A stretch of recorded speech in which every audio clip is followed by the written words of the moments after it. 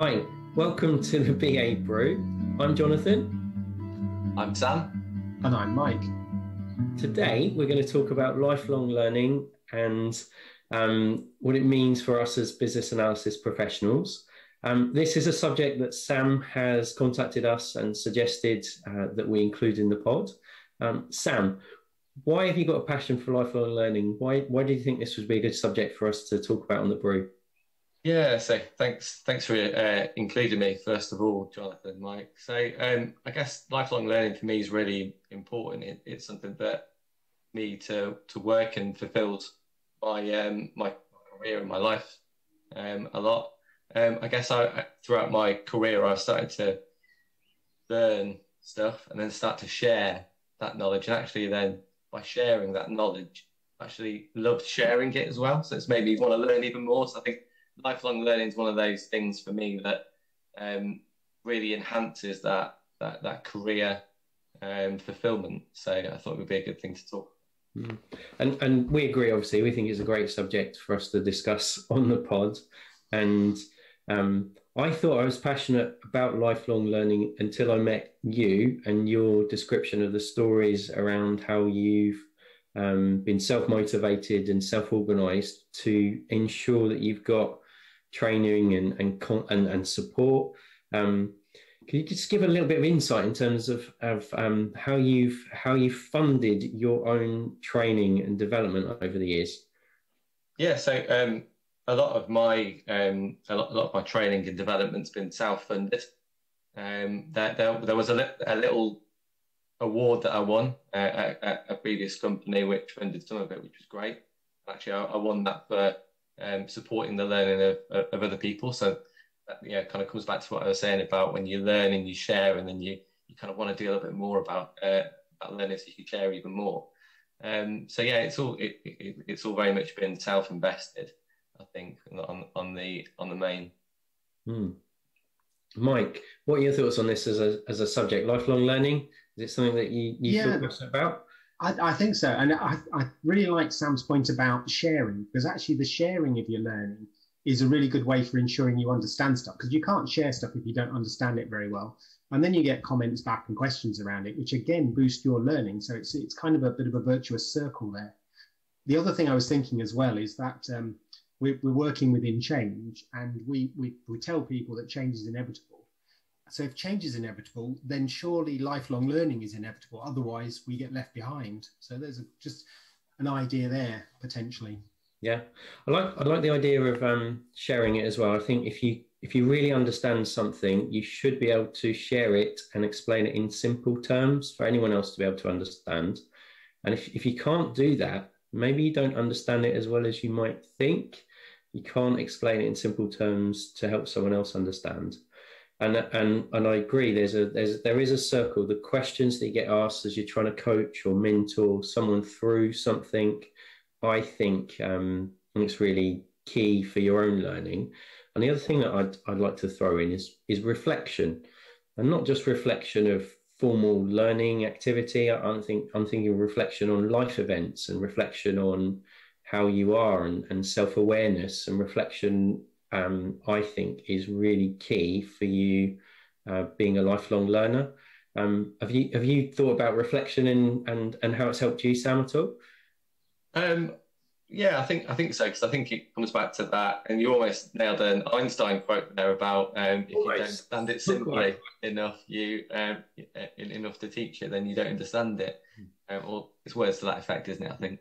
Great, but I think yeah, reflecting is is a really important thing because I think it enables you to refine your knowledge on the subject. Very much for me, um, yeah, I, I, my, my kind of story, if you like, is I, I'm a uni dropout, and I'm quite proud of that now. But at the time, I think I wasn't, uh, I wasn't quite, quite so proud. So, um, so when I, when I dropped out of uni, not, not, not kind of knowing what to, to do as a career, I ended up falling into business analysis, and quite, yeah, quite luckily, um, there was um, a few um, good, strong mentors that were the first company that I worked for that it kind of started that, that, that, hunger, if you like, for learning. And I think it was very much that I, I then learned that actually by sharing, you can learn, um, you can make sure that you've learned it well enough. Um, but that, that feedback loop, that, that reflection, and then people saying, well, okay, I tried this, I don't know, let's say it's a technique, I've tried this new technique out that you shared with me, and actually I found this, and being able to reflect on that and then build that allows, I think, us as BAs be able to flex the technique or the framework to different contexts. Really important because I think from our roles, we do analysis, do the same sort of set of techniques, if you like, in a uh, in a in a in a team chain or a team process, um, again and again. But, but actually, it always changes on the context. Yeah. So yeah. learning and getting that feedback and that reflection from other important. Yeah, I think um, I, I echo that. Um, feedback really key, and, and, I'd also like to say that you know in my own career, mentors that have helped me have I've been inspired. I've seen things from different angles. I've I've identified strengths that I didn't know I had. I've identified weaknesses through through that feedback from from a mentor, and I think the power of mentoring I think is undervalued, and um, it's it's often maybe mentioned, but not not maybe thought of as the level of gravitas that I think it should have, because uh, a, a high quality mentoring relationship I think can can have such a massive impact on your learning and your career your career potential. And it's certainly i'd certainly say it has had that impact on my own career. Mike have you been blessed with um, mentors that have helped you throughout your career yeah and i think um, well prior to sort of moving into business analysis that's been true as well i i too am a, a proud university dropout i i failed a or left a, a biology and chemistry course um, many years ago um, because it just wasn't right for me um, but that I, I, then ended up working in a chemistry lab. But I was inspired by somebody who was working in IT, who was I think he was 70 at the time, and he got into computing at the age of 50 and learned it all, and ended up writing um, a, a, database management system that was eventually bought by HP. And this guy just inspired me to get into it. Mm. And I kind of worked my way through computing, and it sort of keyed me up into learning again. So I, I having put the university thing behind me, I did various training I then did a part time master's degree on the back of my experience working in IT um, with this guy for a number of years. And then more recently, um, I say more recently, it's, it's, a few years ago now, I did a, a part time Open University degree to make sure I got the bachelor's degree. So I filled in the gap, which was only, what, about four years ago I completed it. Um, so I've kind of I've kind of get kept going with that and yeah, I think uh, uh, there's, there's been the big courses, so doing those, the masters and the BSc, but then there's been these shorter courses. But I'm also in, interested in this sort of micro learning as well, just learning little bits. So I have interest in so many different things. Anybody who's talked to me won't, for more than a few minutes, will have heard about beekeeping or jam making or um, alcoholic uh, flavored gins and vodkas. And I do all sorts of things. And I think that micro learning is quite good because you kind of get some cross fertilization and some sharing of ideas between the, those those different areas. Yeah, and I'd agree. Those those kind of life experiences that you have and, and interests outside of the change profession and, and business analysis, just looking at I, I don't know uh, maybe a sports team that you follow and and and looking at why they're why they're achieving as a team or not achieving as a team and and the decision making processes that are perhaps going on. And um, my son plays nine-a-side football and I'm, I'm constantly watching to see how it is that the coaches develop and mentor the players and and and what the relationships are and how the maybe feedback's given mistakes are corrected and worked on uh, repetition, uh, lot, lots and lots of habit building in a successful football team, habits of doing things repeatedly, and it, and it's kind of that that maybe isn't. It's definitely not formal learning.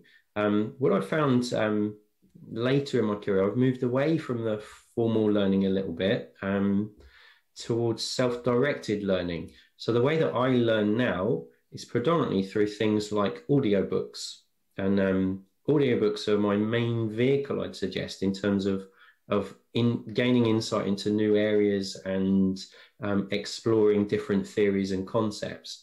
But then also discussing it with like-minded colleagues such as yourselves. That that's how I, I think my my learning approach has has changed from doing the structured and formal learning. I should add, I did a part-time master's.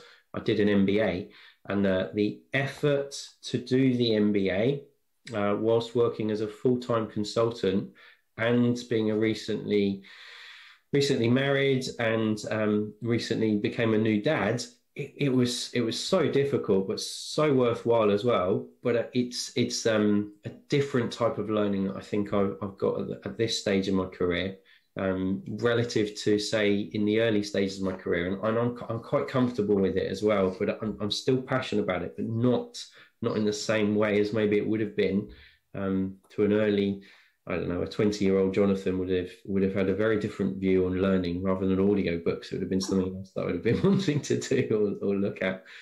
I, I, feel an old man comment coming on here. Or this audio books, what what are they? I'm I'm very much traditional in in in having sort of real books that you can grab hold of, uh, and I've got a huge pile. Having had various discussions over the time I've been within within Assist and with various other people, I bought so many books I don't know when. I think I've got lifelong learning just in the, the pile of books I've got to read through. Sam, do you, do you use books um, to supplement your learning? I, I'm um, I must be an old man, Mike, because for me, uh, yeah, it's, it's it's reading books. Um, I haven't quite yet got into audio books, although the appeal's there, I think, to be able to do other things at the same time. I, I suppose um, what, what I've got instead of audiobooks is listening to podcasts. So um, when, uh, when when we initially had a chat about this podcast, I didn't realise it was a video podcast as well because I've always listened to it. Um, so I like listening to a lot of podcasts. But I suppose what that, what that probably does is it tells us well um, this information age that we're in. There's so much digital content out there, whether it's um, audio books, articles, blogs, podcasts, little online courses that you get through things like LinkedIn and, and other sort of subscription based um, uh, uh, learning uh, vehicles. So yeah, I think, and, and, obviously we've got webinars as well through um, IIBA, IIBA UK, and, and, stuff like that. And I, I, volunteer for IIBA UK, so really, really sort of great, mm-hmm. great thing that we've seen a lot more of in the last 18 months or so since we've been a lot more remote. We've seen a lot more webinars and a lot more people that are engaged in um, virtual learning. Yeah, yeah. Without that, um, if we'd have had the same situation that we've got with the pandemic, but maybe before we had all of this accessibility, mm. I think we'd, we, would be missing something here. And, and Sam, I hope, I hope, you don't mind me me asking. Um, I understand you're currently applying for the Expert BA Manager Forum Award. Um, what's motivated you to to to aim for that and to to go for that as an award? Yeah, so um, thanks, thanks, Jonathan. Yeah, applying. So hopefully, hopefully now um, it, it, it, can be it can be successful. But um, yeah, for me, the motivation around learning comes from um, that the, the gain that I get in other people's succeed. Um, so as I said, you know, I, I, I initially um, liked learning and I tried to share in order to make sure I'd understood it. But then I think the reward for me comes from seeing other people make the most of, of the learning that I share. And then so I guess I'm kind of keen to make sure that I'm being the best that I can be and inspiring others to try and be the best that they can be and to learn as much as they can. So for me, the expert BA um, is about me trying to stretch myself and see where, where I can uh, I can get to, and and hopefully try and inspire others to put themselves through the same process, mm. get that self learning as well. And it really is inspiring um, because you you completed the business analysis diploma and then the advanced international business analysis diploma. Now you, are pushing on to get that BA Manager Forum Award, and and it's it's certainly for the BCS qualification schema. It's the highest level of award that you can get. But at the same time, you're preparing a conference talk for the European conference later this year, and it's kind of where do you find the time, Sam?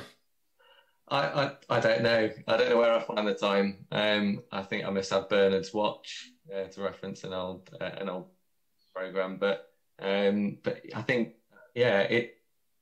I think it, it kind of comes from um, just wanting to, to, to do as much as I can. So um, yeah, I'm really excited about the conference talk. Actually, and I know my kids too. Um, yeah, so, uh, but and and, and Ian, uh, yeah, like, um, hopefully he'll like like this if he hears a podcast. Should we wave to Ian? Hi, Ian. Hi, Ian. Hi, Ian. Thanks for talking about my my uh, um, my my uh, presentation in advance. So hopefully it's going to be as good as you hope it is. What, what's um, the title of the talk, Sam? Yeah, so it's called uh, Benefits. Uh, now you see them, now you don't. Beware the Wizard of Oz. uh, a, a, long title, but it's about um, it's about um, benefits and how they can be um, not quite what you expect. Um, so being able to, through good analysis, help to uh, find out what's really behind the curtain. Hence the, the Wizard of Oz Brilliant. analogy. Brilliant and very creative as well.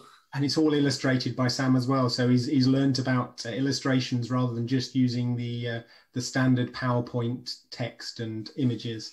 Wow, Wow. Well, I'm inspired. Um, what I'd like to do is say thank you to everyone that's listening today and um, watched it, watched us as well. Um, a huge thank you to Sam for joining us on today's pod. Um, if you've got any ideas for future episodes or if you'd like to appear as a guest, um, please do contact us. It's babrew at assistkd.com. Thank you.